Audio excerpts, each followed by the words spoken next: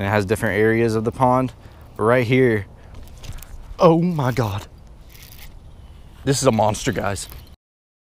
What's going on, guys? Welcome to another video, and today we're gonna be talking about rattle traps. Cause I'm a space kid, astronaut, whether or not I'm gon' pass yeah, it's not the question I'm asking, I'm asking when I get drafted, making music till they ask you like Boosie, passing all these women like Drew Brees, get up on my hoop I'm loyal to my city, not like KD on some new teams, I put out for my family cause we hanging on like shoestrings, change my habits up and now it's feeling like a mood ring, now it's feeling like a mood ring, I've been intellectual, I gotta get my dream on, it's me, my girl, a million bucks, I gotta put my team on. This is a video you guys all requested, and it's something that, you know, people have been requesting for a while, and it's actually a video that I haven't made like a tip video about. So it's going to be interesting today. This Tackle Tuesday I'm going to do quite different. Alright, it's going to be a little bit different than the normal Tackle Tuesdays that I usually do. And for that being said, the reason is I'm going to teach you how to throw a rattle trap today. If you want another segment on all my rattle traps, talking about the colors more and stuff like that, then I can make a video over that, talking about like all the rattle traps I have, showing you guys all the rattle traps I have. If you want to see that, be sure to smash the like button, leave a comment below if you want to see that, and I'll make it happen for you guys for uh, Tackle Tuesday coming up. But as of today, we're going to be talking about this bad boy right here, the rattle trap. So haven't made any videos on this and I'm very excited. But to start everything off before we get out there by the water, I'm to talk about the rod and reel setup. So the reel I have is just a standard 7 1 to 1 gear ratio reel. And this is just an Okuma Helios. This is the TCS series. And the rod is actually a 7 foot medium heavy. And this is um, the Okuma TCS series as well. And 7, 7 foot medium heavy I have like a fast action tip on it, but I do like that backbone as well. You know, some people like to throw those rods where they're medium, extra fast, or medium moderates. Um, me personally, like I said in most of my videos, I really prefer a 7 foot medium heavy for a lot of the baits I throw, and you know 75% of my rods are 7 foot medium heavies. It's just a rod that feels really comfortable to me, has a lot of, a lot of backbone, and um, it's going to have a lot of tip as well if you have that fast action so that's really good but we're going to go out there and uh, I'm to show you some tips on how to throw this bad boy. And moving on to line this is actually 15 pound Seaguar fluorocarbon. You can use 12 pound as well. I wouldn't really go below that. Me personal preference I like 12 to 15 pound fluorocarbon when it comes to a rattle trap. Before telling you guys how to work this bait and showing you some more tips on how to make this bait more versatile I do want to talk about the time of year that I would be throwing this thing. You know, I can throw this year round. Most of the time I won't be throwing it during the summer when it's super hot outside. Um, that's just me. I usually won't. But, you know, early spring when that water temp's rising, you know, around 50 degrees, that's really good. Um, fall time, always when this fish are chasing bait. And also, one thing about this bait that's really great, like I said, I'm going to make another video going more in depth about this stuff, is this bait is so versatile. You know, I can go out here and throw this thing in very shallow water. I can also go throw it out deep as well, which not many people do. But it is a great way to catch more fish, and not many people do it. So with that being said, the fish, you know, don't usually expect that. But, you know, I will go out and throw a rattle trap deep, but there's ways to work it. Like say I was gonna go out and throw this thing in deep water, I'm not just gonna go throw it over you know 25 foot and just start reeling it in. That's just not how I'm to do it. There's to be certain ways to work this bait so to be more productive in that deep water. But shallow water, you know, I could throw it along this bank and just throw it out there and just start reeling it, start hopping it. That's perfectly fine. But today I'm to show you how to throw this in deep and shallow water and some more tips so you can get more bites. All right, guys. Like I said, there's so many ways you can work this bait right here. It's so versatile and it's really great in deep and shallow water. Most of the time when you think of a rattle trap, there's a fish right there. First cast. That's insane. he came off. I can't believe that, guys. that is absolutely amazing. That is absolutely amazing.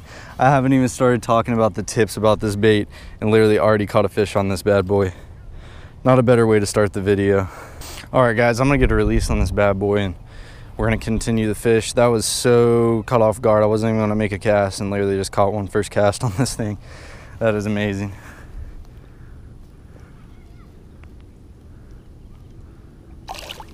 There he goes. I am not gonna complain right there with catching that fish first cast today.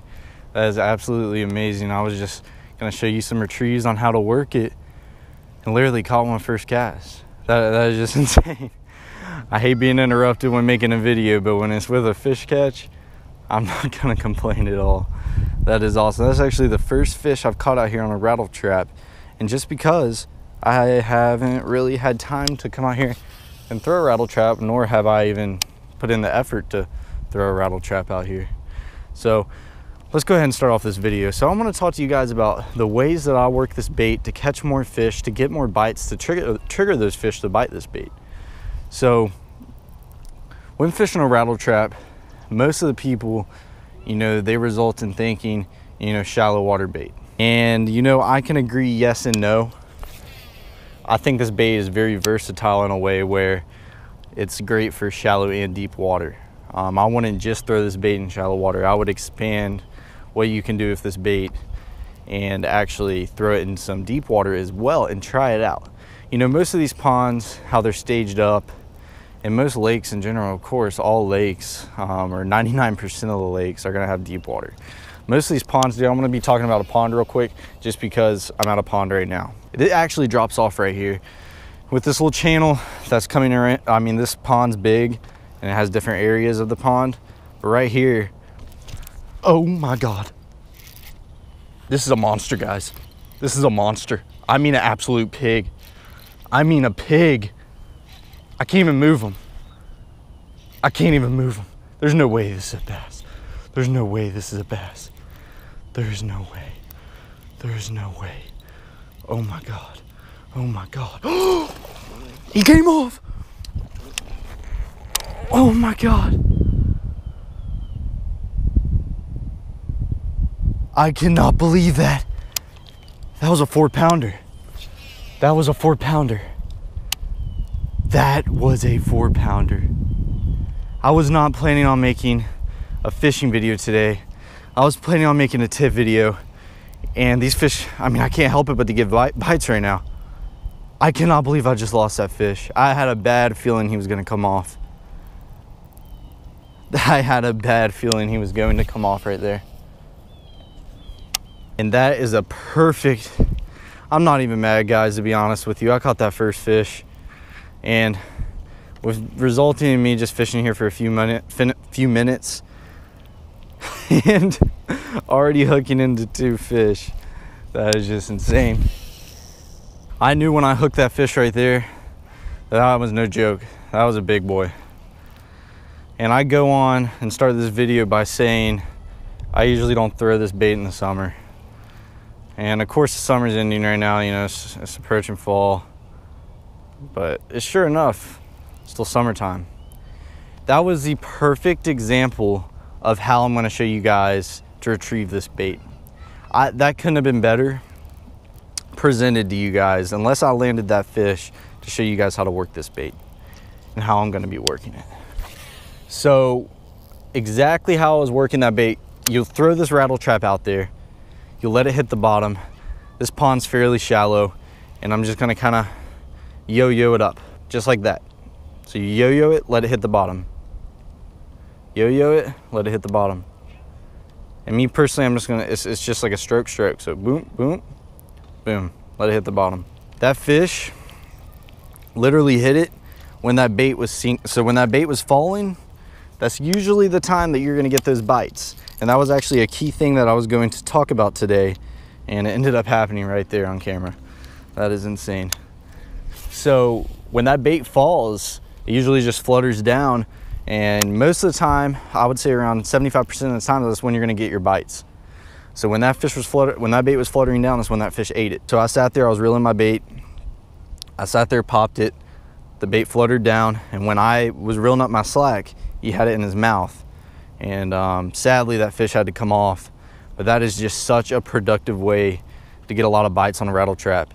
And personally my favorite way to work a rattle trap. When you come out here on these ponds, even on lakes, you know, you have the bank right here, just right on the edge of the bank, very shallow. You can always throw that rattle trap, you know, parallel along with that bank right here. As you can see, that's a very shallow, this is a very shallow bank right here. It doesn't drop off. Once you get out there, that's where it's gonna start dropping off, but it's very shallow right here. Like my rattle trap's hitting the bottom and I'm just gonna be reeling it. Um, reeling it, I'd pop it some, give that bait a little bit of action. So right here in the shallow water, like I said, just reel it, give it a little pop, keep reeling it, give it a little pop. Most of the time when you're throwing on the bank, you know, you're, you're most likely gonna have some structure there. And my favorite structure of the fish with a rattle trap is grass. Grass is my number one, and this is one of my number one baits to fish in grass if I want to be throwing a moving bait. You know, a chatterbait's really great, um, but a rattle trap is a really great bait over the edge, uh, on the edge of some grass and also over the top of some grass. What's really great about this rattle trap that's not like any other crankbait is, you know, I can throw this thing right in that grass. So say I have some submerged grass under the water and I wanna be throwing this rattle trap, I'll throw it up in that grass and I'll just stroke this bad boy out of it and let it sink. Stroke it again, let it sink. And what it's gonna cause is that rattle trap is sinking in that grass and even if you do get a little bit of grass on this rattle trap, when you rip it up like that, it's gonna be throwing that grass off. But not only is it throwing that grass off, it's gonna be popping this rattle trap out of the grass and those fish are just gonna annihilate it. I couldn't tell you how many big fish I've caught doing that. One lake that I have caught a ton of fish, my first college tournament ever was on Lake Seminole this last year. And in practice, uh, two days in a row, I caught around 20 pounds um, on a rattle trap. And I was doing this same exact technique where I'm throwing that bait out there over some submerged grass and ripping this bad boy. And obviously there's no submerged grass right here, but that technique of me ripping this bait, I use just in open water like in ponds and on lakes as well. You know, most of the time those fish are gonna stage up. You might go fish a point or you go fish a rocky bank or whatever you're gonna be fishing. And it doesn't have to have grass on there for you guys to use this technique. You know, it just, in general, like this pond out here does not have much cover at all. Throwing this bait out there in that deep water, as you can see, this channel comes right through. It's deep in the middle, it's shallow on the banks. I'm only throwing it out there in the middle or throwing it on the other side, yo-yoing this bad boy. And most of the time, this fish are just gonna be sitting right out down in the middle of that channel. And that's when those fish are gonna come out and destroy this bait. If you guys are wondering what type of rattle trap I'm throwing, this is actually an Excalibur one knocker. This one's got like a goldish chrome finish onto it. So when that sun hits, especially when the sun's setting like right now, it's just absolutely amazing. The color on it is just flashing. It looks really great in the water. And as you can tell, if I hold the hooks right here and shake it, you hear that? You're not hearing a lot of rattles in there. So that that's that's one thing. This Excalibur rattle trap is called a one knocker. And a one knocker rattle trap pretty much has one big weight in it. So as you can tell, when I shake it, you hear one clack. And you know, most of the time, especially in the winter when those fish are very lethargic, that was very bad. But especially in the winter when those fish are really lethargic, that can be a great bait because most of the rattle traps out there, they're gonna have a lot of rattling going on inside of that bait. And sometimes those fish are very slow, very lethargic, and they don't want that. So that's when I pick up a one knocker and start throwing it. Most of the time, I would say around 75% of the time, I'm throwing a one knocker um, rattle trap. Me, that's my personal preference. I don't believe they make these Excalibur ones anymore, um, but if they do, and if you can get your hand on some of them, they're a phenomenal bait. I mean, I've caught so many fish on the Excalibur ones overall. I mean, you can also throw a red eye shad. Um, the thing I like about a red eye shad is, is, you know, the cost of them. You know, it's very, very affordable. You know, they're not too expensive. These Excaliburs will be slightly expensive, but you're getting your money's worth out of them and these one knockers are just absolutely amazing. One other company that makes a great one knocker is Booyah. Booyah makes another great one knocker rattle trap.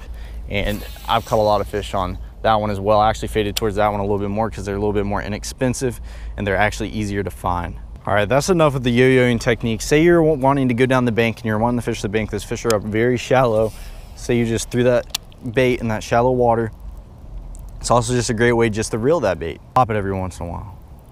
And this is one of those things where you guys just can't take the tips that I'm giving you right now and apply those to wherever lake that you're at and go be as productive as, you know, I possibly could have today if I was fishing all day or it's all on how those fish are going to act that day. Like not every day those fish are gonna be super active where you're over here popping this thing and reeling it really fast and reeling it all crazy and they're gonna bite it because they're not gonna bite it like that every day. And that's your decision to figure out when you're out there on the lake is figure out how those fish want that bait. So as you could tell, the bites that I got was just kind of popping the thing. But I wasn't really doing it too slow. You know, I was popping it I'd reel my slacker real quick, reel it a little bit, pop it again. And that's how I got, you know, all three of those bites pretty much. It wasn't one of those really finesse times where I'm throwing that rattle trap out there, let it hit the bottom, and, you know, I'm literally stroking it, letting it sink down, waiting a few seconds, and then doing that again. I mean, it was pretty, pretty instant when those fish were eating it. It, it was no joke. One of my overall favorite things about a rattle trap is, for me, I'm a very aggressive fisherman. I'm very fast. I love to fish fast. It's just how I am.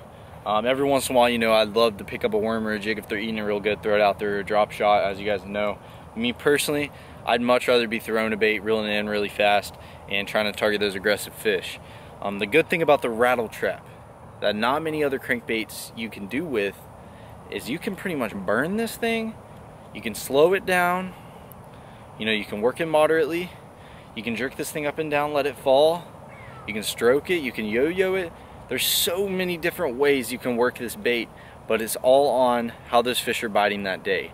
That's why when you guys are watching this video, I expect you guys to go out on your lake, try these techniques that I showed you to try to catch more fish on a rattle trap and apply those towards your day. But if that's not working, maybe little small transitions or small little switches to change with that bait.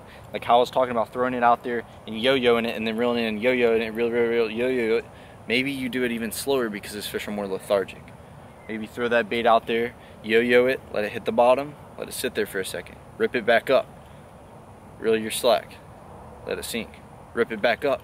It's just depending on how those fish are acting that day, how those fish are acting, if they're gonna be aggressive or they're gonna be really lethargic. But overall guys, I hope you got some tips out of this video over the rattle trap.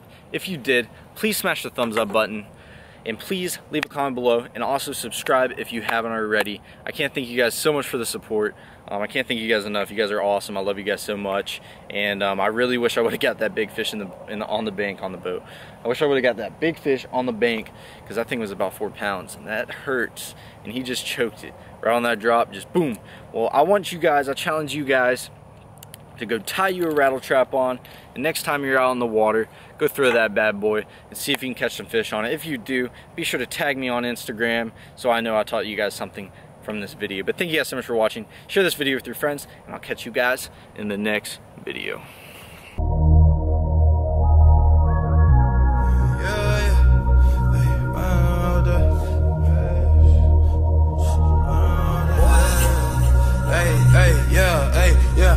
Honestly, I think that 24-7 an understatement to my day-to-day. -day. If ain't no way, then I'ma make a way. They say, say ain't no